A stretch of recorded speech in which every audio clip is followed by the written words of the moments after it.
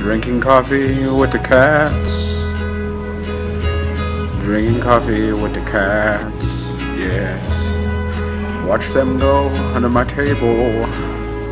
Oh, and chillin'. Drinking coffee with the cats. Playing with the students of Chiang Rai. Oh, drinking coffee with the cats. Always chilling under the table and looking at the birds. They flying away. This one is so cute. I had to take a selfie with him. The cats of Chiang Rai.